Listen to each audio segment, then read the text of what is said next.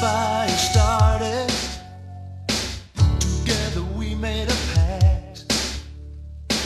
We both agreed that we never hold anything back.